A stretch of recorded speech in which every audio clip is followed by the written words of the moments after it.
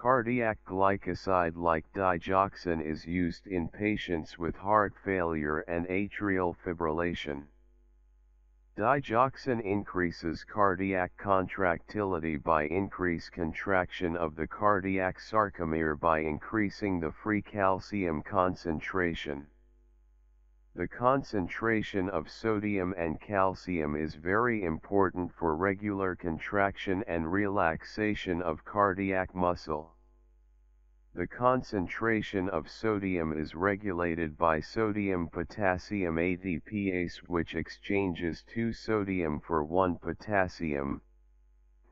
The concentration of calcium is regulated by sodium-calcium exchanger which remove calcium from the myocyte in exchange for sodium.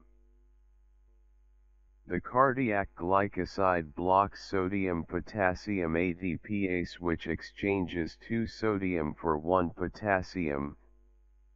Sodium-potassium ATPase inhibition increase intracellular sodium concentration.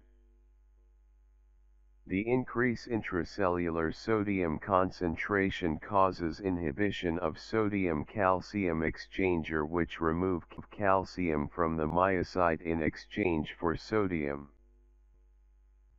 This event leads to increased intracellular calcium. Because more calcium is retained intracellularly, the excess calcium is stored in sarcoplasmic reticulum. The sarcoplasmic reticulum release the calcium at the next contraction cycle of the cardiac muscle thereby increasing cardiac contractility.